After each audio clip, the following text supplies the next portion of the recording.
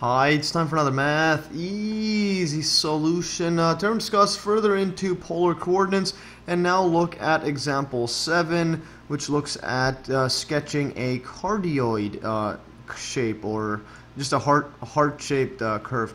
And that's this example here. Example 7 it states sketch the curve r equals to 1 plus sine theta.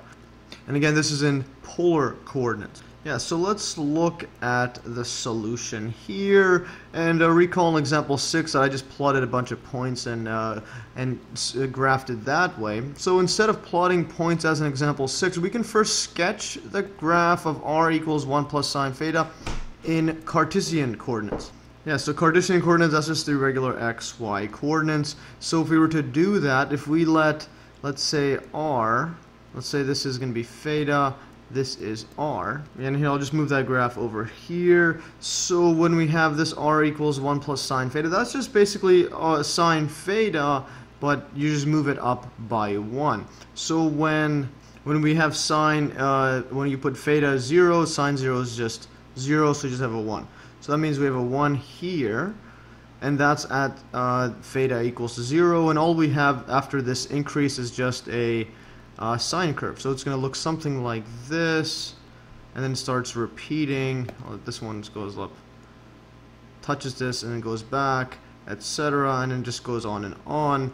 And then at this point here, uh, at this point across here, this is basically a uh, sine curve, so we get a sine goes up, down, all the way to, to this point, where then it starts repeating itself, and that's at 2 pi and then at this point here this is just pi over 2 and it increases by 1 because remember it's just a trigonomic sine function. So this is at 2 and then at the bottom here this is at 0 it goes to 0 and then it goes back up and just keeps repeating. And, and likewise for the reverse side would be something like that. And it just keeps going on and on. And at uh, this point here this is just at pi. And then at this point this is going to be pi plus pi over 2 that's just going to be, well, 3 pi over 2. That's a third, like that. And uh, now this basically enables us to read at a glance the values of r that correspond to basically increasing values of theta. So from this, we could uh, translate how this would look like in polar coordinates. For instance, uh, we see that as uh, theta increases from 0 to pi over 2. So from here to this point across there, uh, the distance from yeah, from from O, I'll, I'll write this as a big big O or 0 for the origin. So R, which is going to be the distance from this in polar coordinates, increases from 1 to 2. In other words, this is, goes from here, 1, all the way to 2, like that. So as you increase this uh, theta, you have the distance increasing from, uh, this, so theta goes from 0 to pi over 2, and then the distance r goes from 1 to 2. So we sketch the corresponding part of the polar curve in the figure below. And what we'll have is, if we have just a figure like this, so initially here, when theta is equal to 0, we have a distance of 1 here. So in polar coordinates, all it is is r is just a distance from the origin, so we have 1 across here, like that. And this is at, uh, this point is at uh, pi I, I mean not pi, this is at theta is equal to 0. So that's at this point, like that. And then when we rotate this by pi over 2, that's 90 degrees, so we get pi over 2 equals to theta. Let's write this down, theta equals to pi over 2. And the distance increases, and then we get to, uh, instead of 1, we get to all the way to 2 like that. So this is one distance, this is two. So what we end up having is a curve like this because this is increasing until we finally go up to here, which is the farthest distance. So the distance r is increasing, and you could see that by here. So the distance r is increasing, uh, and uh, that's by this curve, and that's why we have to curve back down here because it becomes flat. Yeah, it becomes flat across there like that. And now the next uh, part of the curve we can sketch as well as theta increases from pi over 2 to pi and uh, you could see that from here so from pi over 2 to pi here so as you increase from there what ends up happening is the distance r uh, drops from 2 all the way to 1 here at this point So what we end up having is, well, yeah, r decreases from 2 to 1. So we sketch the next part of the curve as in the figure below. So now we have, so from here is pi over 2. That's distance pi over 2. And that's a distance of 2. So we have 1, 2, and then it goes all the way to cross here. This is distance, uh, or an angle of pi, and it goes back to 1. This is 1, this is 1, 2. And then basically, it uh, we have a curve like that because now the distance is decreasing. Uh, you see off the curve like that and go back down to here because it's not a linear uh, decrease as you can see here. It's gradually lowering the distance like that. And now likewise we can go to the next step which is as theta increases from pi to 3 pi over 2 r decreases from 1 to 0 and you could see that here.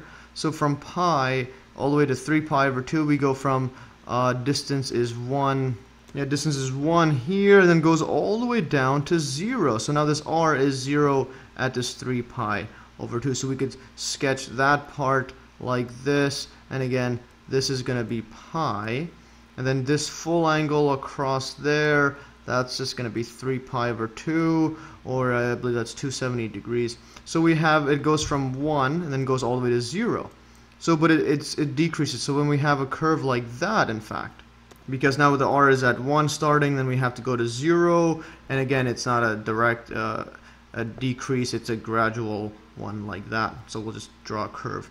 And now the next one is finally going from 3 pi over 2 to 2 pi. So from here to here we go from 0 r is 0 all the way to r is 1 and basically uh, yeah when we do that I just jump over here. Finally as theta increases from 3 pi over 2 to 2 pi r increases from 0 to 1 we could draw that. And again from here to here that is our 3 pi over 2 and just draw a big curve so we could draw this inside all the way to yeah to 2 pi like that.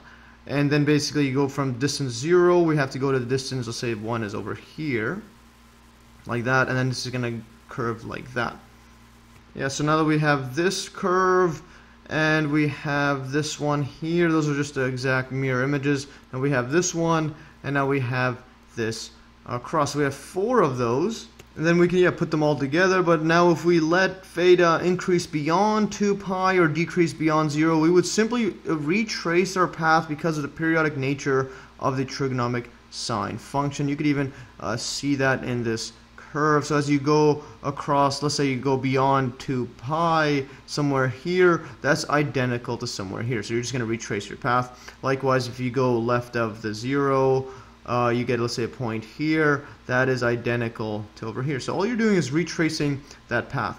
So now what we could do is put them all together. So putting together all the parts from above, we get the following shapes. Remember, there's four of these parts of the curve. So let's put these together. We have a shape that looks like this. So it goes from 1 here, like that, all the way to 2. And uh, let's draw this a bit better. So it goes from like that, goes to 2, and likewise is the mirror image across this side. That's a 1. So this is 1, this is a 2, this is a 1, across is a 1. Draw this across, looks something like this.